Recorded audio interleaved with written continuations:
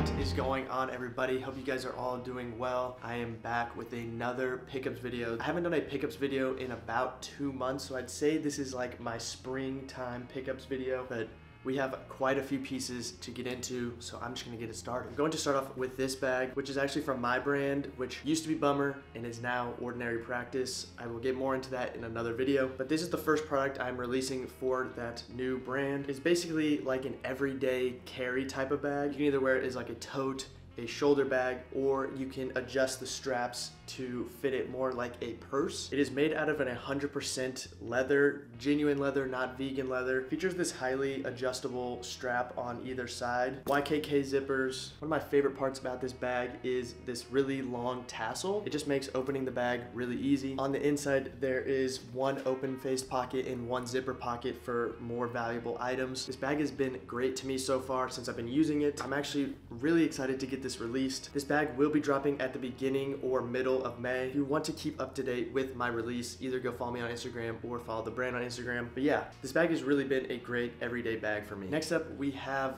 this pleated bag from Simple Project Lab. There's a lot to unpack about this. For one, the material is very interesting. It's essentially a polyester, but there is also metal rods in the fabric. When you see this in person, it almost looks reflective, almost like the surface has this very deep, basically metal finish and it's really unique. It features this zipper pocket that you can fit just smaller items in along with being just a very interesting looking bag. The straps of the bag are sleeves like from a formal fitting shirt. I was really confused why they'd use something like cuffs for like how to attach it to yourself but it allows you to wear this in so many different ways. So unlike typical bags where you can wear it like a shoulder like a tote bag you can actually wrap this around your waist and it looks like there's almost just a t-shirt that you took off and you wrapped it around your waist, but it's just the bag. You can wear it like a fanny pack and it doesn't look weird. It, do, it doesn't look like, it's like redefining the fanny pack. I will say the pocket, the pocket on this is lacking.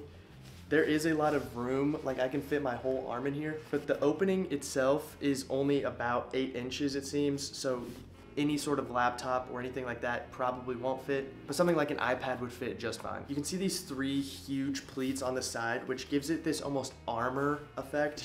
this game kind of just reminds me of like a real life like Fortnite back bling. I was looking for a smaller carrying bag, so if I ever want to just carry around a few things, that is what this bag will be doing. Last on the list, we have this Mutimer cowhide belt, and there's really not much to say, but since it is literally made out of a cowhide, look how it just has like a shape of its own really. Extremely thick, not very pliable. It has some nice silver hardware. And of course the cowhide pattern is all along it. But I'd say it's just more of a traditional style belt just made out of this cowhide. It's just a tad too big for me so I am gonna have to make another hole in it. But other than that, it's a good belt. Next up, we have these AFFXWRKS contractor pants. I believe that's what their name is. I just did my wardrobe reset and one like category of fashion that I'm really interested in is like more tech wear like Kiko Kostadinov and well, of course, AFFXWRKS. These were from their spring summer 2024 collection and I really was looking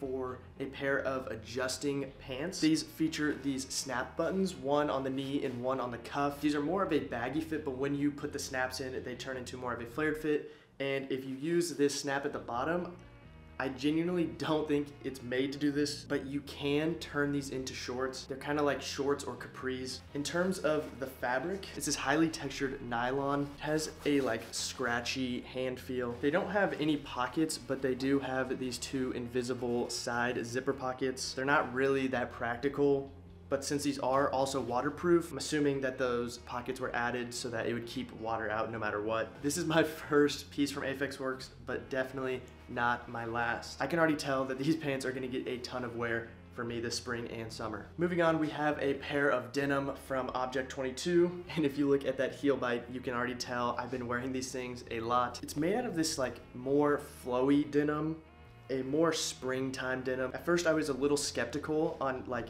how I was gonna react to this type of denim since I'm more of a structured denim type of person. And it's not a light denim by any means, it just has less structure to it. I believe they were enzyme washed, which gives it this like vintage feel and look. These are pretty much just your standard baggy, loose fit denim. It features this five button fly, tumbled leather back patch, and this scar stitching detail on the pocket. I'm a sucker for little things like that. One thing I do not like about these is how small the back pockets are. Like, so here's my card holder.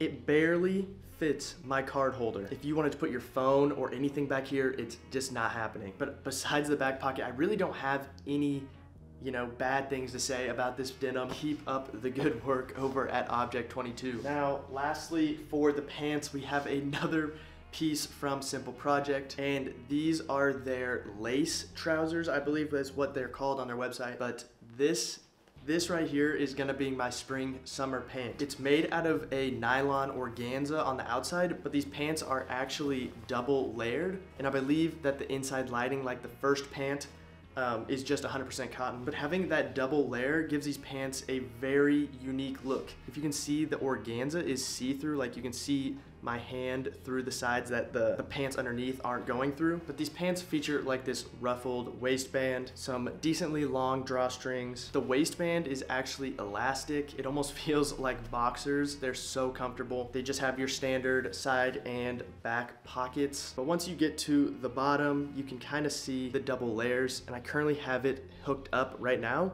but there is this pearl that adjusts the organza layer so that you can either make it stop dragging on the ground or just give it a cool effect. Like I said before, it's just little things like this that make me really enjoy clothes, but other than that, they are just a wide, loose fitting trouser. This is probably the best pickup I've had for spring, summer. Now, moving on to tops, we have this sample t-shirt that I made, and it is essentially what I would consider to be like the perfect t-shirt. It's made out of this extremely tight knitted cotton, which gives the t-shirts a little bit more structure. It's a pretty standard t-shirt, except for the side seams. If you can see, they curve around the front. Now I have a problem with a lot of my shirts that are shorter in length is where they give you that flared out back, which I absolutely hate. I think that looks terrible. By twisting the side seam and bringing that fabric in, it kind of wraps around your body. It's also very subtle, single stitching on the arms and on the hem. One other thing that I really like about this shirt is it has all invisible seams. So there is no visible stitching except for the single stitch. What I mean by like it wraps around is if you look here at the bottom, this is just on the hanger normally, but you can see that the bottom is much lower than the front and it really gives the shirt more shape than like a traditional style t-shirt. I'm planning to release these tees um, somewhere in the middle of summer, so definitely be on the lookout for that. Next up is another piece from Simple Project. I absolutely loved their spring summer collection, so I just had to pick up a lot of things from them. It's basically just a standard Oxford shirt except for this basket weaved design on the front. It's made of the same nylon organza as the pants, but this is just the organza, so it is fully see-through. I am definitely gonna have to wear an undershirt with this. I've never seen anybody do on a shirt like this, and I just absolutely love how you can really, it, it just is 3D. Like, this effect is so cool. One other small detail are these buttons. They are almost made out of like compostable material. That's what it seems to me. It's like a mix of recycled cardboard that's been pressed or some sort of unfinished wood. That subtle brown just works really well with the white color. The shirt is definitely a little out of my comfort zone. I just felt like I could not pass on this. Now for the next two, we have samples yet again. Um, I just really wanted to test out this fabric. It's made out of this gradient boucle yarn. It didn't really come out exactly how I wanted, but it's pretty much just a chunky, oversized sweater. And I have no plans on releasing this, but I still thought it would be cool to show you guys.